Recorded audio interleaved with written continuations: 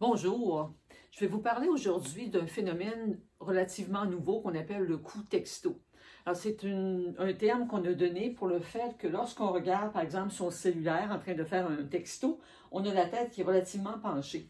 L'implication de cette posture-là qu'on va tenir beaucoup plus longtemps qu'on peut le présumer dans une journée et que lorsque la tête est penchée, on va augmenter énormément le poids, la pression sur les disques, sur les coussins, entre les vertèbres cervicales. Alors, c'est une condition, euh, tout ce qui est maux de cou, les engourdissements dans les bras, les hernies discales, euh, les maux de tête générés par des euh, pincements au niveau des, des, nerfs dans la région cervicale, c'est des conditions qu'on va voir, qu'on va traiter régulièrement en chiropratique.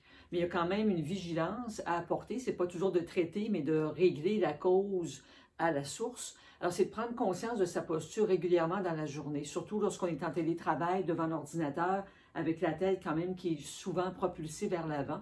Alors, lorsqu'on prend ces micro-pauses, on va se poser la question, j'étais dans quelle position? Est-ce que j'avais la tête trop penchée vers l'avant? Et d'apporter les correctifs et graduellement de conscientiser une certaine, un certain tonus au niveau de la région cervicale et non pas de s'affaisser les épaules vers l'avant. Alors, lorsqu'on a une, position normale, donc normalement, le poids de la tête va être au-dessus des épaules. Si on, ligne, si on trace une ligne imaginaire de l'oreille vers l'épaule, on a à ce moment-là le poids de la tête qui pèse environ quand même un 5 kg qui va être absorbé par les vertèbres cervicales. Et normalement, lorsqu'on a une courbure cervicale qui est lordotique, qui est légèrement arquée dans la forme d'un C, donc dans la forme ici, un C euh, dans cet axe-là, à ce moment, les vertèbres cervicales sont faites pour, et les disques, pour absorber le poids de la tête. Mais lorsque je vais pencher la tête seulement de environ 2 cm vers l'avant, et vous voyez ici, j'ai la tête penchée presque quand même d'un bon 6 euh, et plus centimètres, à chaque 2,5 cm de plus, donc si je vous montre mon dessin ici, donc position normale, la tête légèrement penchée et la tête beaucoup plus avancée. Dans la dernière position, on va chercher quand même un bon 18 kg de pression sur les disques à la base de la nuque.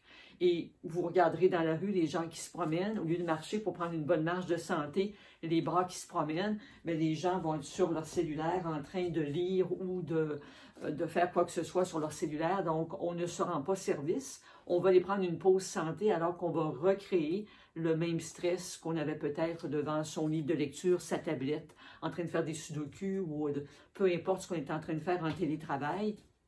À ce moment-là, on ne se rend pas service.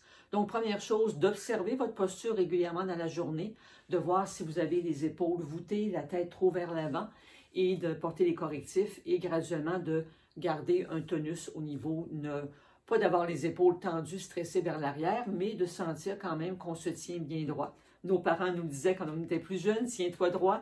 Alors, ils avaient tout à fait raison, même si ce n'était pas nécessairement une cause scientifique derrière cette recommandation.